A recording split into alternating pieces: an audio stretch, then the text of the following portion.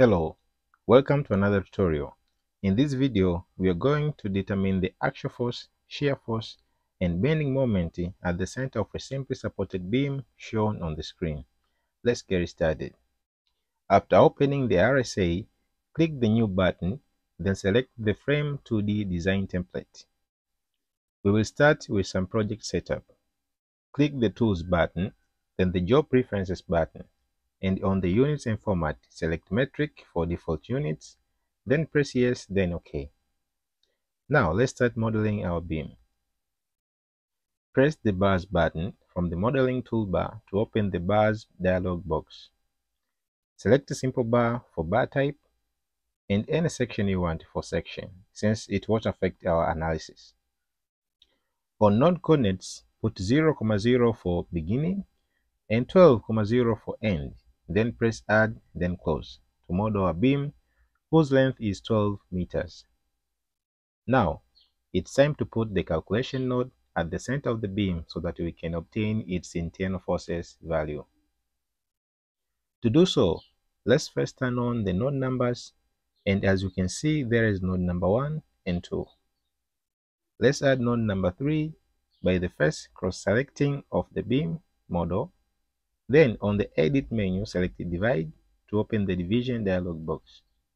Make sure End-to-End Part is selected and put 2 for number of segments and put a tick for generate nodes without bar or edge division, then press Execute. Now, node number 3 is added to our beam as you can see. You can close the division dialog box now. We can also turn off the node numbers for now. It's time now to put supports to our beam. Press the supports button to open the supports dialog box. Select the pin support which is fixed at both X and Z translations but free at the rotation about the Y axis. Put it on one end of the beam. And now let's select the roller support which is fixed at the Z translation but free at both X translation and rotation about the Y axis and put it on the other end of the beam as you can see on the screen. Then close the support dialog box. Now, it's time to put loads to our beam according to the question given. Press the Load Types button to open the Load Types dialog box. Select Dead for nature, then write F for name, which stands for force. As you can see here, the beam turns red to show that the self-weight of the beam has been applied but we don't need the self-weight for this tutorial. So we have to get rid of it.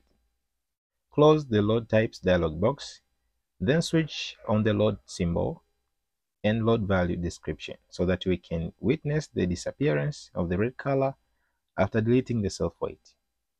Press the tables button then select loads then ok highlight the self-weight row then press the delete button on your keyboard to delete the self-weight of the beam.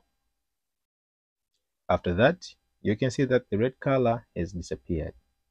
Now let's define loads by pressing the load definition button to open the load definition dialog box. Press the bar tab, then bar force to open the bar force dialog box. On the Z value, put minus 135 then on coordinate, select the relative value which will be obtained from the calculator. Double-click the X box to open the calculator, then press 4 divide by 12, then the equal sign to obtain the answer, then press OK to put the calculated value to the X box. After that, press Add, and then go to the near end of the beam where there is a pin support to apply the load by clicking on the beam. After that, let's repeat the same procedures by putting minus 110 for the Z values and then on angles, double click the this box to open the calculator, then press 4 divide by 3, then the equal sign, then arc, then tan to obtain the value of the angle. Then press OK. We don't change anything on coordinate. Press Add then click on the beam near the end where the roller support has been put to apply the load. Then close the load definition dialog box. As you can see, the load has been applied. Turn on the node numbers.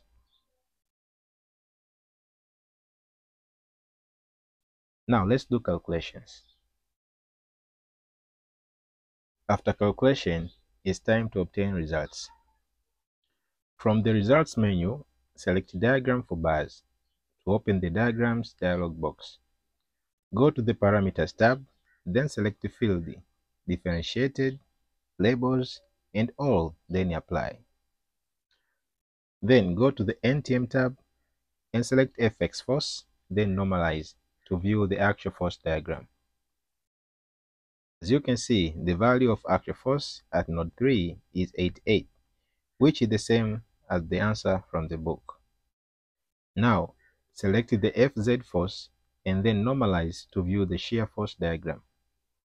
As you can see, the value of shear force at node 3 is minus 23, which is the same as the answer from the book. Now select the MY moment and then normalize to view the bending moment diagram. And as you can see, the value of the bending moment at node 3 is 402, which is the same as the answer from the book. Robot defines negative and positive values differently from what we learned from school, and I hope one day I will create a tutorial about that. Thank you so much for watching my tutorials. Until next time, goodbye for now.